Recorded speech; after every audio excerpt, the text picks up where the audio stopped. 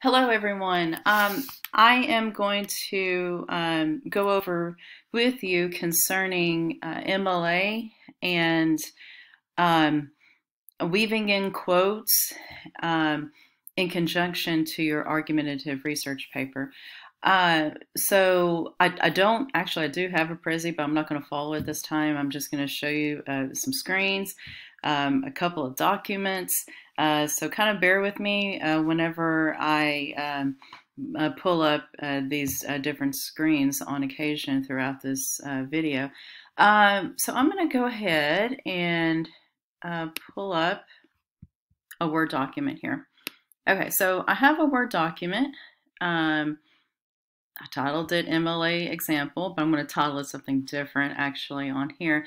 Uh, and it's usually defaulted at Calibri. Now, I know this is a review for a, a, a lot of you all, and uh, uh, but I, am just going to go ahead and go over this part anyway, just in case you have any questions. Uh, I'm also going to show you something on uh, Google Docs as well, but I'm just going to go ahead and um, most of the time just be uh, looking at this Word document.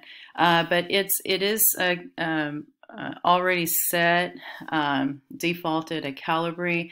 So I changed it to Times New Roman, 12 point font. Um, I'm going to go ahead and um, come over here to the spacing. Uh, over here for Word document is in the middle. So um, right now it's at single. So I'm going to go ahead and go to double spacing. And I write my name uh, in the upper left-hand corner. Um, I put in yeah, English, uh, I'm just going to type in English 1302, uh, one of my sections, and uh, the instructor, I can type today, um, and today is the 13th, so it is the day, month, and then year. Okay. Um, and then we have a title. Um, actually, I don't know. I'm just going to put that in there for right now. But this, this is where your title would go. Um, and then before I forget, I go ahead and I insert the page numbers. And so I click on insert, and I think on Google Docs it's very similar. I click on inserts, uh, page number, click on page number. Uh, we do not want the page number as a footer. Uh, we do want it um, in the upper left, uh, right hand corner, excuse me. We do for MLA, you do want to go ahead and show um, the page number on the first page. Okay. And this is not APA. Uh, you're, you're writing your paper in MLA format. So for MLA, you usually don't have a, a cover sheet. Um, and uh, I, I, know that I've had some students do that. It's fine, uh, but uh, for MLA, unless the instructor tells you to, you do not um, do that. Um, one little thing I forgot. And when you want to go back up, usually just click it uh, a couple of times and you usually can go back up to the page number. Um, you need to type in your last name. Okay. Um, and you don't have to, but I do it because I like everything um, balanced. But this is also defaulted at Calibri, and I have to go in and change it. Okay, so hover over this right here, click on it a couple of times. So we have, um, this is where you put your instructor's name. Um, you have your typical um, shell for your MLA paper. Uh, now you are ready to go ahead and and uh, up to this point, you've been uh, uh researching, uh, reading your um, uh, sources, writing down notes, or at least you should have been, getting to know your sources, and um, have a rough draft of sorts coming along. Um, and really, with rough drafts, I really don't want you to worry about MLA uh, too much. I just want you to get words down on paper. Uh, so I'm really, um, I have gone over MLA with you before, but I really didn't stress it too much for the rough draft. I just want you to have some words, um, your thoughts, ideas. Um, if you uh, uh, chose to uh, weave in some quotes along the way, then that is perfectly fine. Um, but a rough draft is a rough draft. Here, we're getting ready for that final draft. And so let me, um, at this point, I'm going to go to uh, one of my sources. And whenever I do that, and I, am just going to type in uh, Eastfield uh, College Library. Here we go.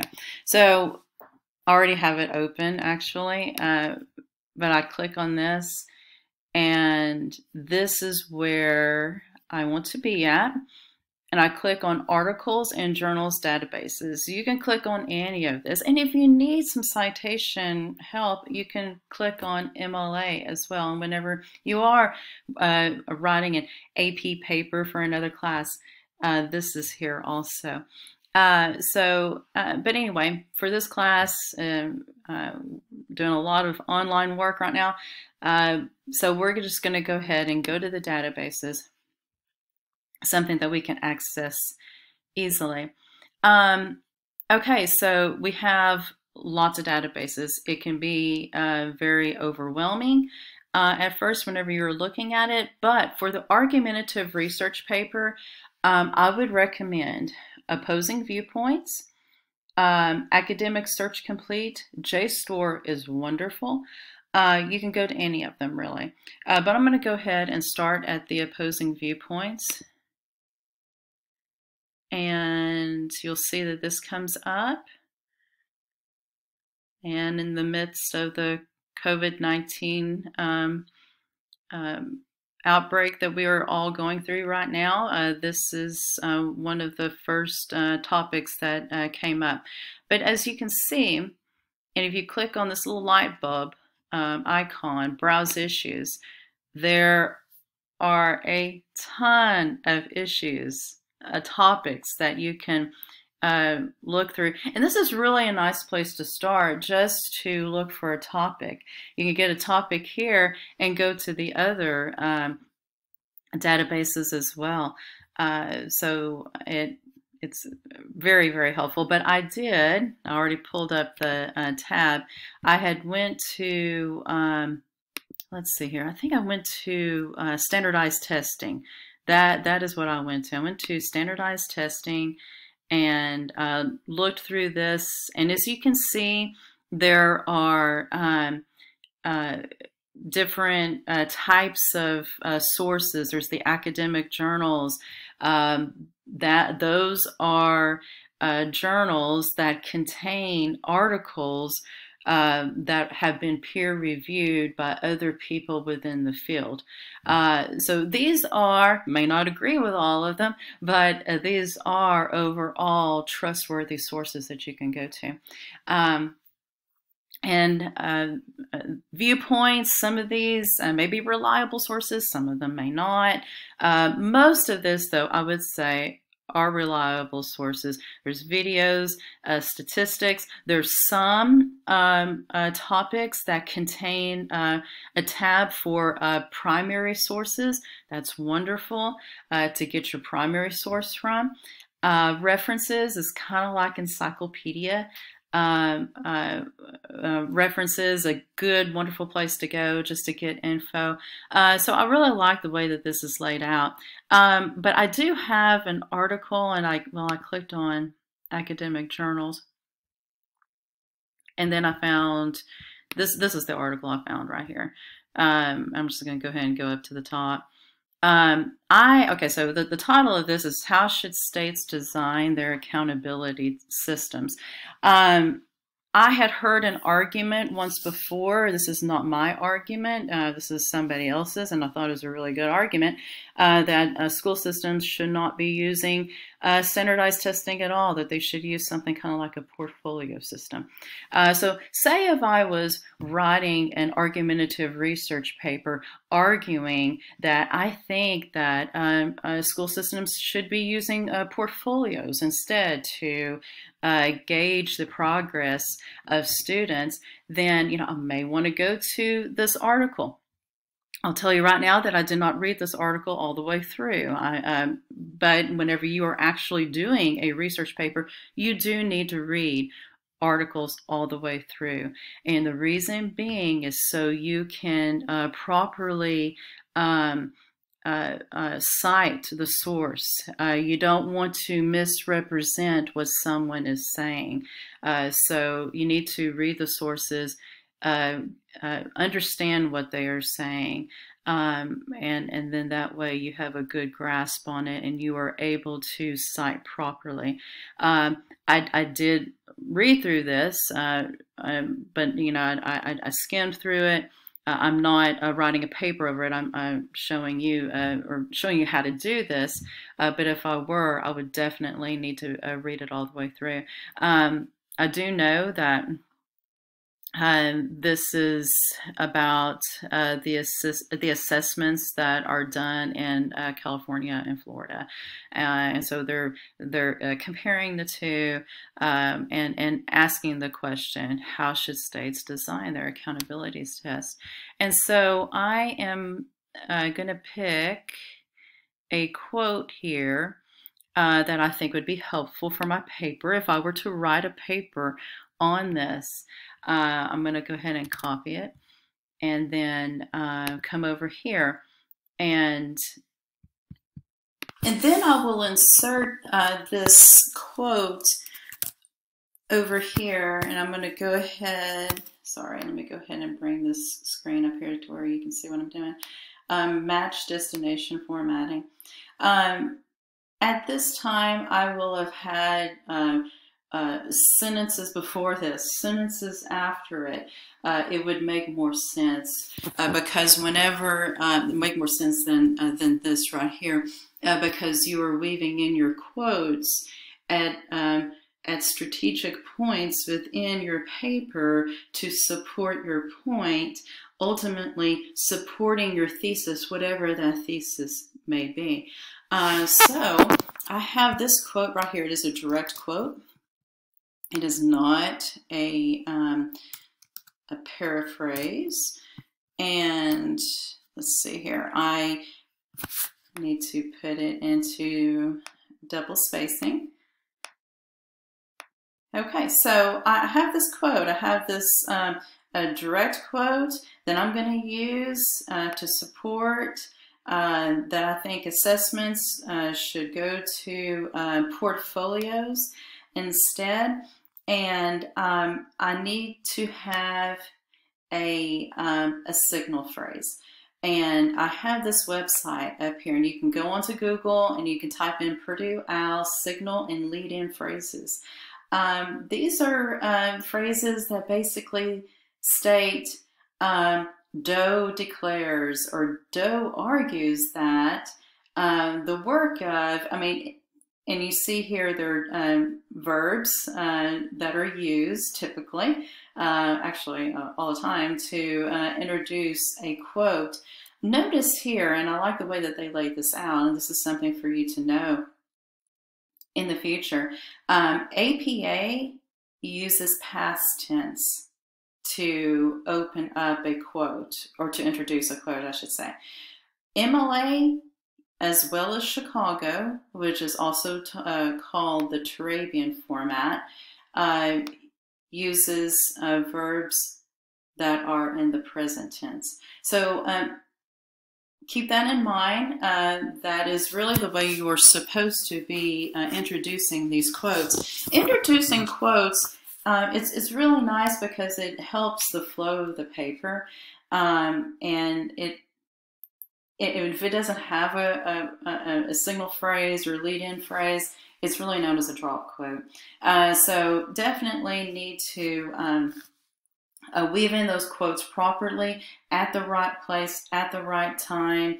Um, remember the the Kairos uh, thing that we were talking about, balance and timing. Well, this is one example right here where you want to maintain that balance and timing. Um, I'm going to go ahead and go back to my article that I have up here. And I noticed something really interesting about this article, and you will run into this, even though this is a peer-reviewed article um, from Education Next, uh, publishers Hoover Institution Press. Um, it is peer-reviewed but it does not have uh, an author listed. So, and I can uh, tell by right here uh, that there is no author um, listed. So uh, we can work around that. Uh, I'm going to go ahead and, and, while I'm thinking about it, I have the source uh, or the, the citation right here. I am perfectly fine with you using the uh, citation generator on these databases. Uh, they're usually located at the bottom or at the top right here where you can just click on that and um, the citation will come up. It'll come up in APA and it'll come up in Chicago as well. Very nice. Go ahead and use it. I already see uh, a mistake uh, on here that I'm going to uh, correct, but I'm going to, oops, I'm going to copy this and I'm going to go ahead and come down here, type in works, cited. Um, we want this title to be centered. Come over here, go back to left center, and as you can see, um, here is the um, the citation. It needs to be in matching destination uh, format, uh, uh, formatting. Uh, but here you will notice, and in MLA, APA is the same as um, uh, also, uh, every line after the first line needs to be in something called hanging indentation.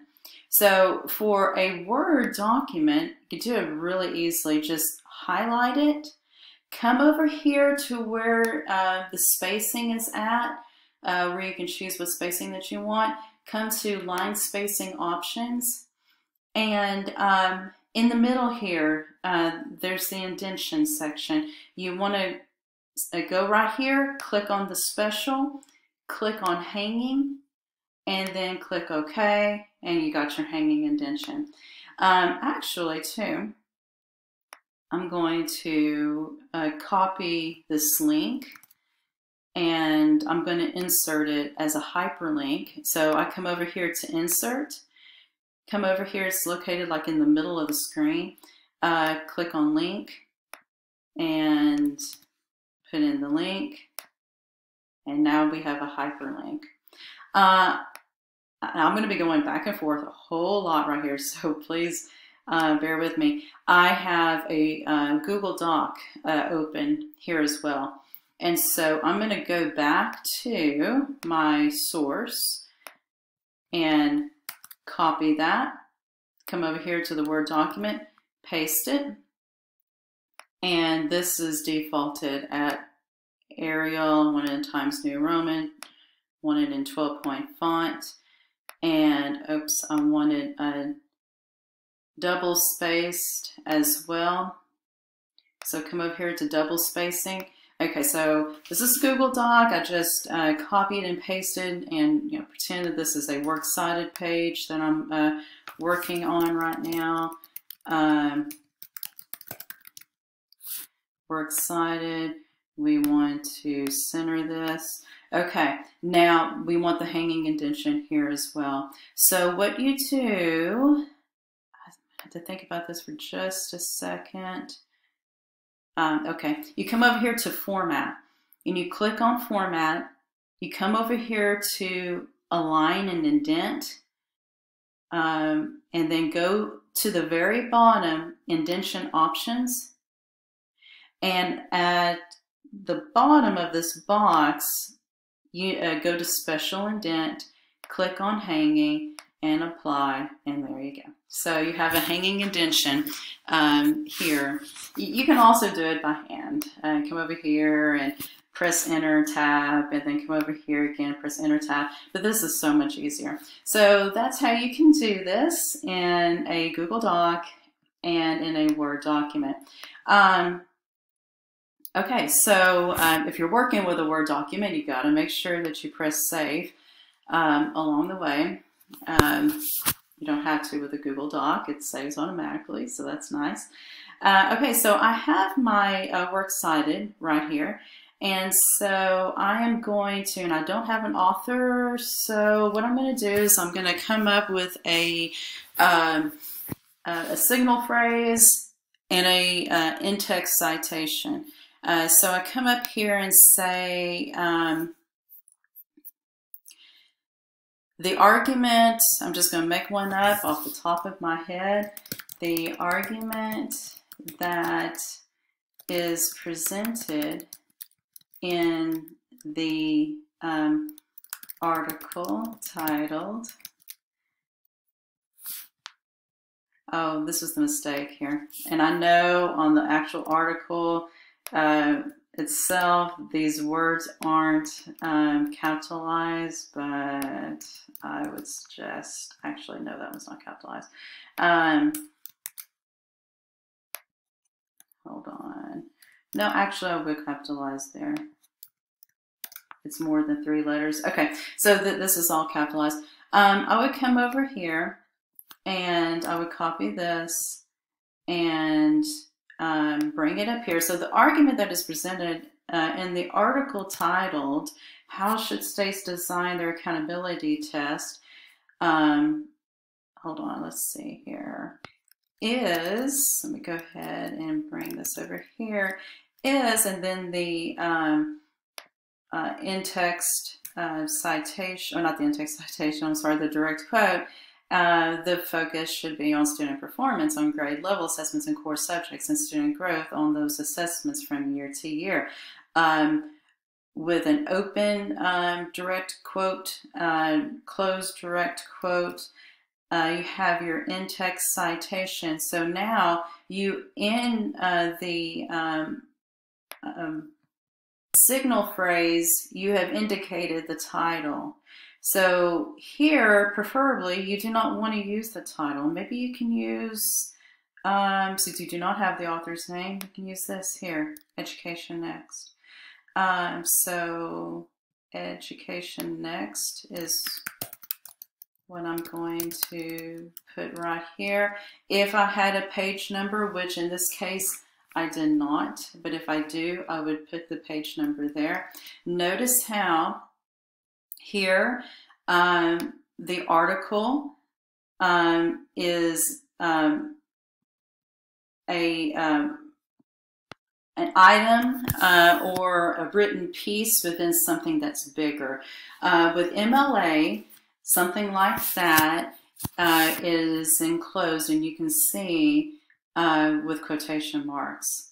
The item that is, uh, I guess you say the, the, the bigger one, uh, the one that contains all those written documents, sources, articles, chapters, uh, that is italicized. So I'm going to come up here and I'm going to do the same thing. It, it all needs to match. So education next is going to be it's going to be italicized, excuse me, and then a period right here to end it. So here I have my uh, direct quote.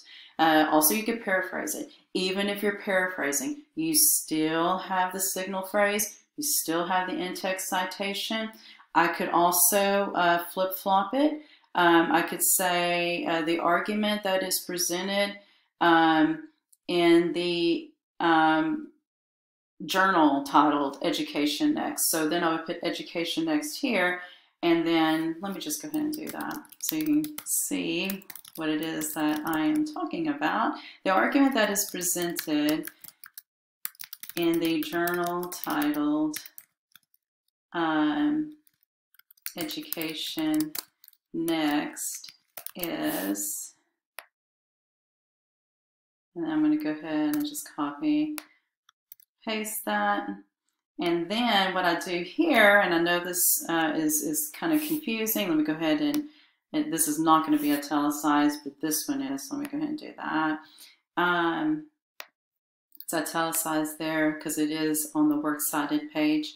Uh, the focus should be on, okay, so right here, I, I'm going to put the title of the um, article instead if I, if I were to write it this way. You have a couple different ways. This is what's so confusing with in-text citations, uh, signal phrases, is that um, you have different options. Um, and I think that's kind of what makes it a little confusing. But with the in-text citation, use the first two to three words in the title um, of the article. So, and I, uh, it, it kind of looks uh, strange on the surface, but this is how it's done. So how should states, and, and, and that's how um, you would do it. The first two to three words, how should states, and then come up here and then put that. Go ahead and enclose it with a um, um, direct quote. Um, so you have the open and the closed uh, uh, quotes, even though this is not the full title of the article, but that's how you do it with the in-text citations, and then a period. Um, I hope that that makes sense. Uh, and let me just show you an example here of something that I've been working on. Um, something that has come up uh, from one of the students as well. Uh, whenever you are working with multiple sources, you might start off with a source like within a paragraph or so, and then you might cite it again, and then you might cite it again. Well, here I've uh, done that is a source uh, from an um, author whose last name is Mallow, and uh, his uh, book is uh, Rhetorical Power. And that is the full title, actually. Uh, but, and actually, I used it uh, consecutively quite a few times, and it was on page five. And then I, um, at the end of the sentence here, I already see a mistake right there um, I uh, uh, used the page number, but not the title of the book. You don't have to repeat it if it is something that you used previously. Same thing with here, page six, and same thing right here, page 15 through 16.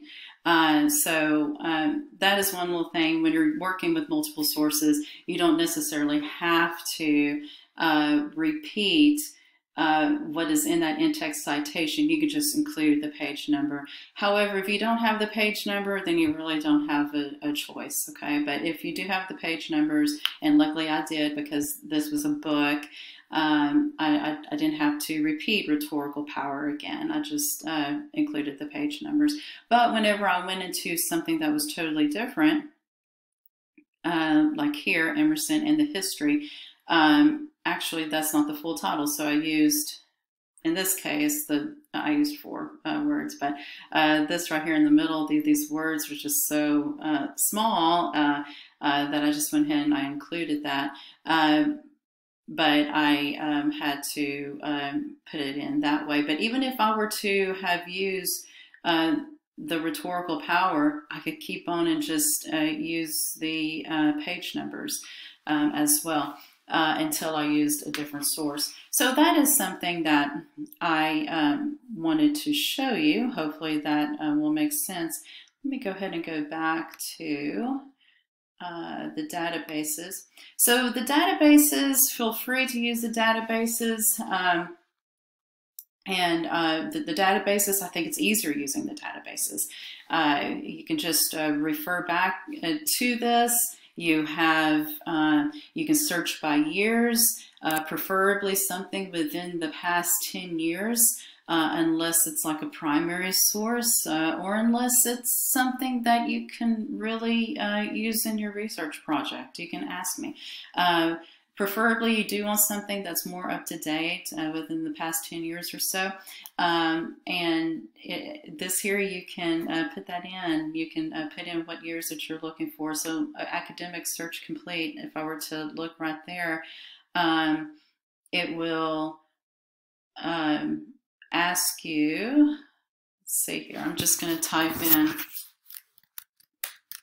school assessments and search for that. It's taking it a little bit.